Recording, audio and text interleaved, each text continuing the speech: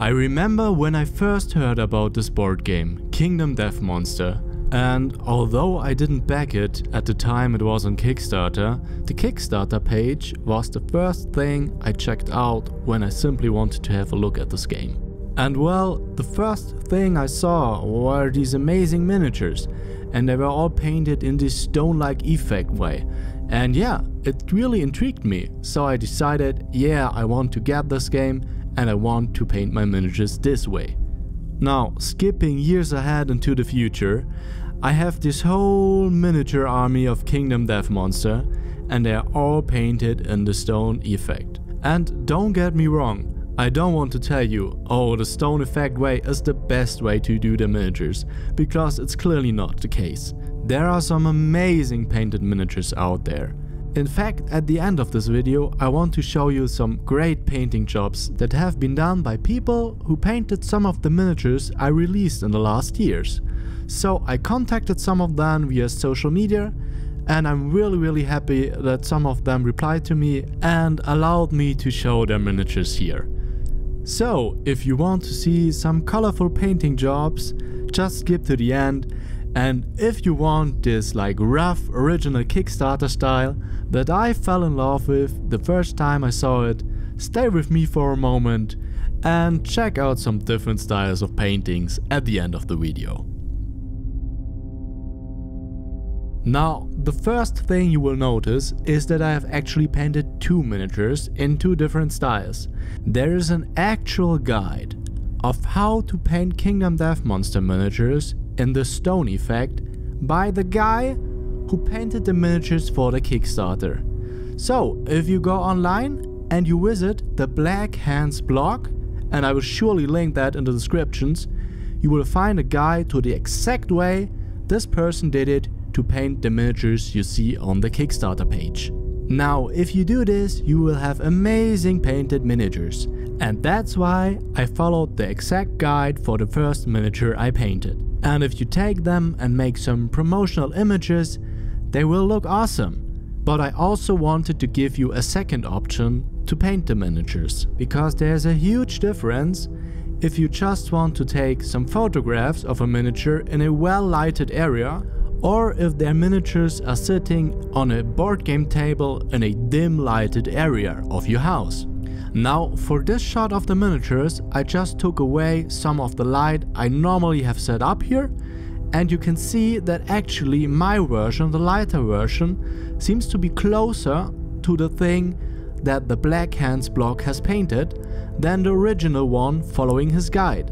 And that's because light plays a significant role in how your miniatures will look like. Now for both models I will follow the same steps for painting. And for time's sake I will just show the way I did the original stone effect. But as I told you before, the steps for the models are the exact same.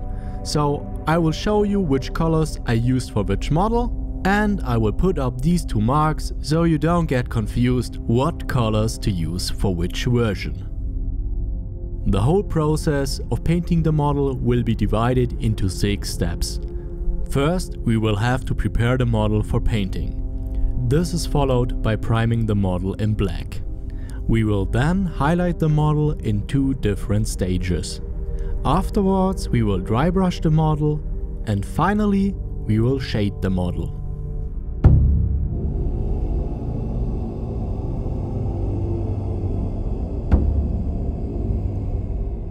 How you prepare a model for painting depends on what kind of model you have in front of you. In general, it's always a very good idea to take a look at the model and clean up some rough edges that are caused by a support structure, maybe from 3D printing or because you had to cut out the model from a sprue, like it comes with the original board game. But of course I won't do any of that because first of all I'm lazy and second of all, I've already printed all of these miniatures and painted them, and this one I'm just doing for you. But jokes aside, what you should always look out for is dry fitting the model, just put it together as it is and check if everything fits. And of course remember, if you're putting together a resin model like this one, that comes from a 3D printer, you can't use plastic cement glue, which is the best one for all hard plastic releases. But you will have to use super glue. The plastic cement just doesn't work with resin. Despite of what I'm doing here, or better said, of what I'm not doing here, you should always choose to go over the model multiple times until you're really satisfied and those rough edges are gone. But at least you can now watch this video and at the end you can see how it looks if you don't go for um, negating these rough edges and you can judge for yourself if this is something that will bother you or if it won't. I will prime my model with a black surface primer by Vallejo and I will use my airbrush. Of course you can always use a spray can instead of an airbrush. And trust me, there are multiple steps in this video where I will use the airbrush. In fact, I will use the airbrush for every single step except for dry brushing and shading. But don't be taken aback by that. You of course can use your brush. And you don't have to go off and buy an airbrush right now. The main reason why I'm using the airbrush is because it's a huge time saver and I'm just too impatient to paint all my models by hand. So if you don't have an airbrush, just imagine where an airbrush would hit the model and just do it with your normal brush. If you then furthermore have some knowledge of advanced painting techniques like wet blending, this would just look fine. So don't be scared and try to work with the things you have rather than buying everything that you might need in the future. Now, using a primer solves two problems. The first being that it will seal your miniature and every paint you will use afterwards will stick better to the miniature and make it so your painting job lasts longer. And the second reason is of course to have a black undercoat that will stop the original color of your model showing through.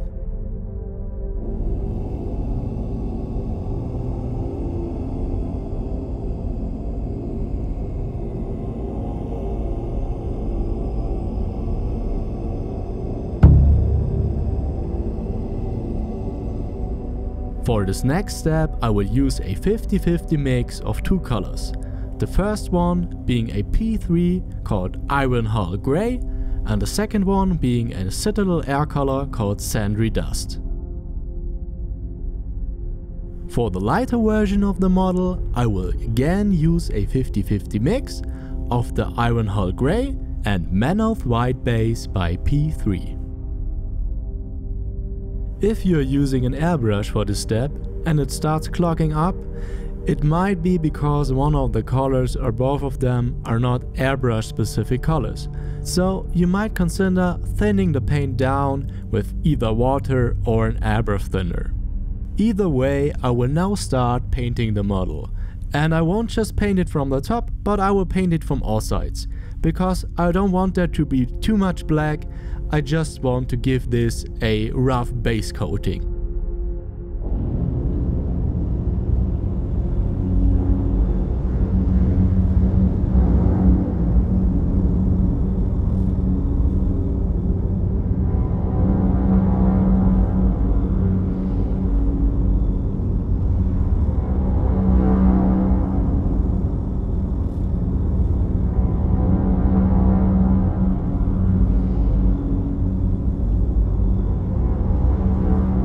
After this, your model should look a lot more like stone. And this would actually be a pretty perfect start to use some vibrant colors in it. But of course we won't do that, we will go on and make it look even more like stone.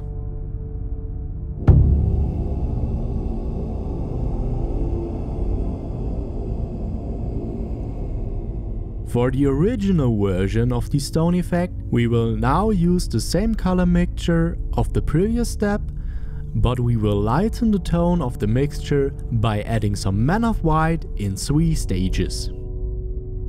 For the lighter version we will do the exact same thing, but instead of using the Menoth White, we will use some dead white and cold grey in a 50-50 mixture. Now I'm just starting to put in some drops of the Menoth White into the mixture that's already inside of my airbrush. And contrary to the previous step, I'm now just spraying the model from above, about a 45 degree angle, so it just gets hit from the top.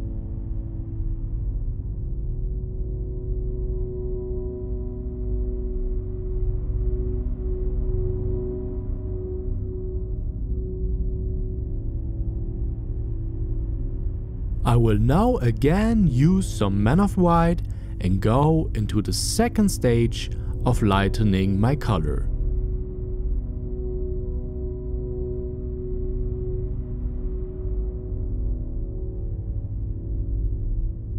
Because the color inside of my airbrush is starting to get thicker and thicker, I am now using some acrylic thinner just to thin it down a bit and to stop my airbrush from clogging. I am now taking some leftover paper and I'm just checking how much lighter my color got and if I have to put in some more Menoth White. Just remember that I'm putting in one brush of Menoth White at each of these three steps and at the end of the third step we should have a rough mixture of 50-50 between the original mix and the Menoth White.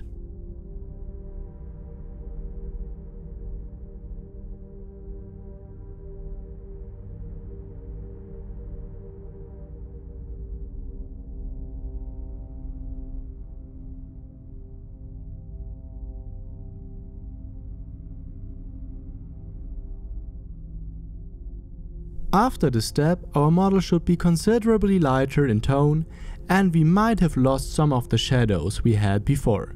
But don't worry, we'll get those back later on. First, we will have to do some more highlighting.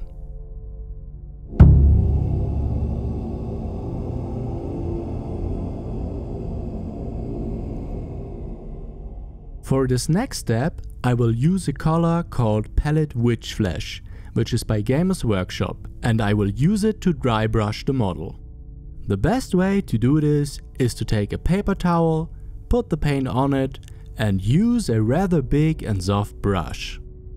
We will now pick up some color with the brush, but instead of going right to the model and painting it, we will rub off most of the paint on the paper towel until there's just a very small amount of color left. The best way I can explain it is that we are not actually painting the model, but we are just using some color dust that's left on the brush and if we brush the model now, the paint will only stuck to the uttermost edges.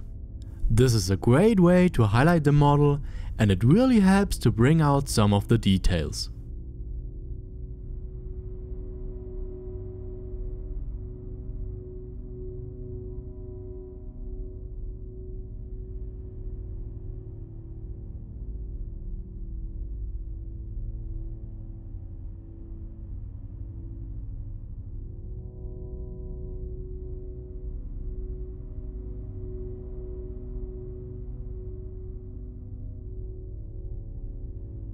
You can now see that this dry brushing gives a very distinct look to the model and we will use it on the whole model to make it more uniform.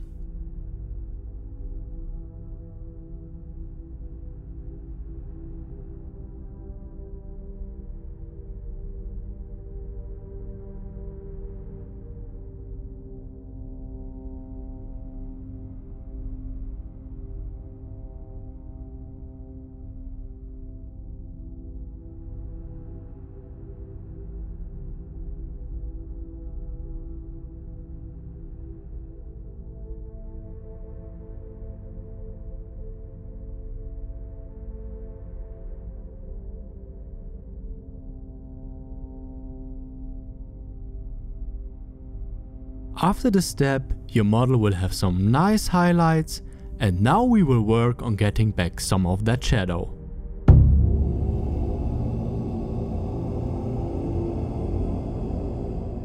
We will mainly use a shade called Agrax Earthshade and we will add a bit of Drakenhof Nightshade, which is a blue shade.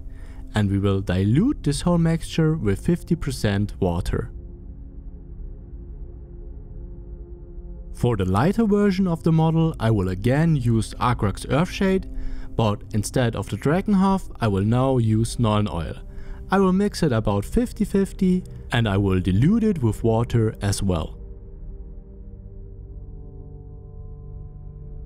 Shading a model always feels a bit scary. You are taking this huge amount of dark paint and you throw it all over your model.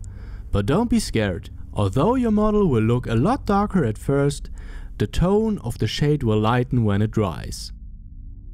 I will cover my whole model with the shade and after I'm done with that, I'm going back in with a clean brush and will pick up some of the pockets of paint that might have formed.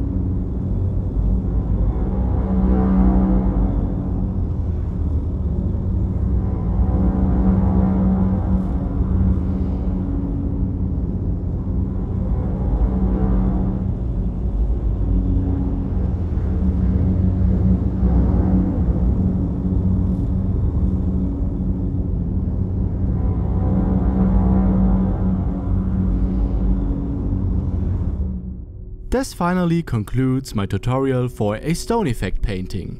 I will leave you now with some great painting jobs by Sean Paul Creven, Ere Talen and Daniel Bergmann. I hope I pronounced your names somewhat correctly and again a huge thank you for sending the pictures of your work and for everybody who likes them please check out their social media accounts, I will post them down in the description. Thank you all for being here and see you next time.